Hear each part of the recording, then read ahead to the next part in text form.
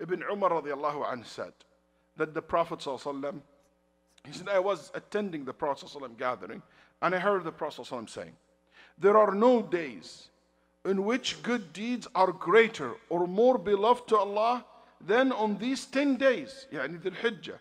So recite much as you can, tahleel, يعني saying La ilaha illallah, takbir, Allahu Akbar, and tahmid, saying Alhamdulillah Reported by Imam Ahmad rahimahullah ta'ala.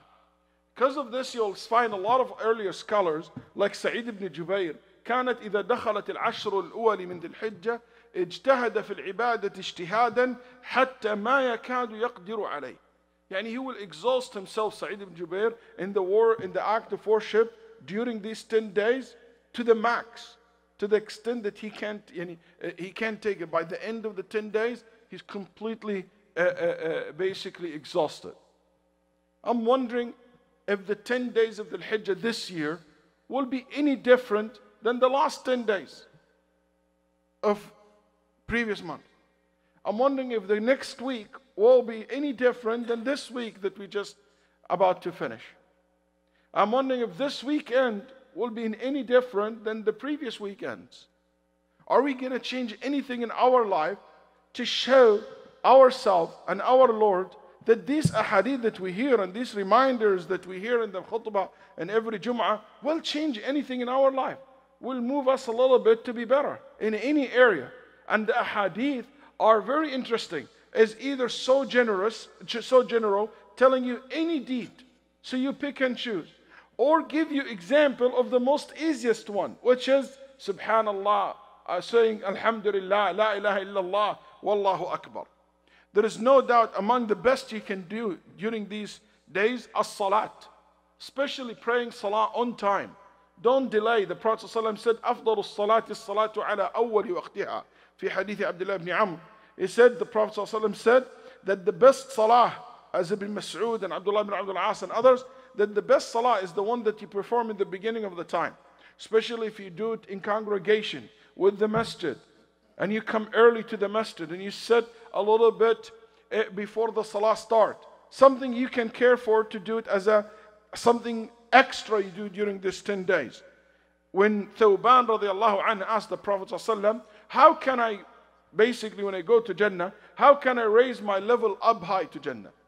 كيف يعني تقرب من النبي صلى الله عليه وسلم في الجنة؟ سؤال يسأله كل أحد. Everybody asks this question. How can I be close to the Prophet صلى الله عليه وسلم rank in Jannah? فقال النبي صلى الله عليه وسلم أعني على نفسك بكثرة السجود عليك بالسجود فإنك لا تسجد لله سجدة إلا رفعك الله بها درجة وحط عنك بها خطيئة والحديث في صحيح مسلم He said to him, you want to reach that high level? Help yourself by what? By offering a lot of sujood, yani a lot of salah. Every time you prostrate to Allah, Allah elevate you one level, raise you one level in Jannah, and take one of your sins away. That's why Ibn Abbas رضي الله عنه وأرضاه كانت إذا دخلت العشر اجتهد اجتهادا حتى ما يك... اجتهادا طويلا وكان يقول لا تطفئوا سرجكم ليالي العشر Ibn Abbas when the 10 days of Dhul Hijjah start he will spend a lot of time praying. And he said don't turn off your lights.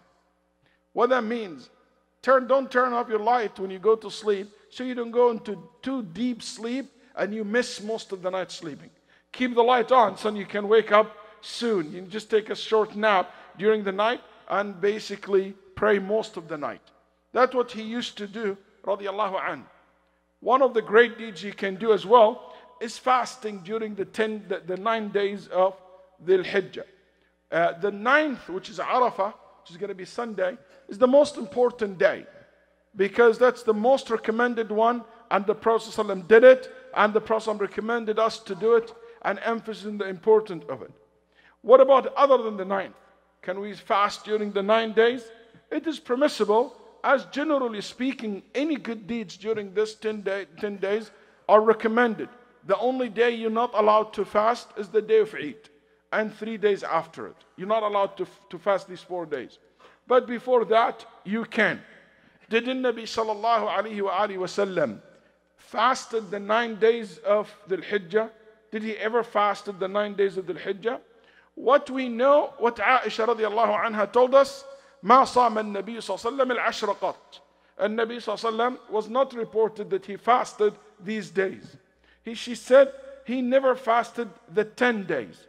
Some ulama said maybe she meant يعني the day of Eid. The 10, ما صام العشر, he didn't fast the 10, meant she meant the 10th day but not to negate that he fasted before that. We have, on the other hand, hadith Hunaydah um Khalid that in the Sunan, but it's weak that the Nabi Sallallahu never missed fasting the nine days of Dhul Hijjah, the first nine days of Dhul Hijjah.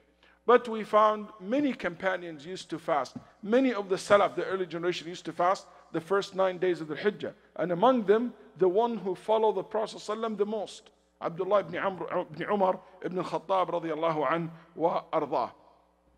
So it is recommended for us, as many scholars said, to care for fasting during these nine days